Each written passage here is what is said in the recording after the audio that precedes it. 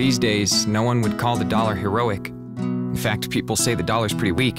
It's lazy, doesn't do the heavy lifting it used to. It's laughed at around the world.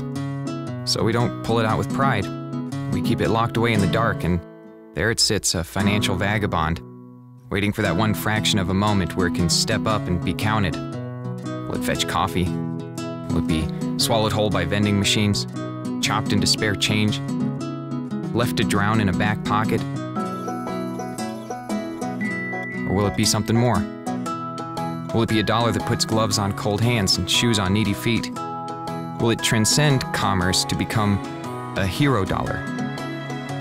A dollar can be heroic when it's helping real heroes, like the heroes serving our country. Those for whom just a dollar is a lot, for whom a dollar is deserving of their thoughts and prayers and wishes because just a dollar changes things. It can be there when they can't, it can help their family when they can't. Dollar's waiting.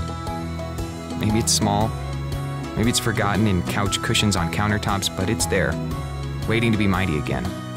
We just have to give it a mission.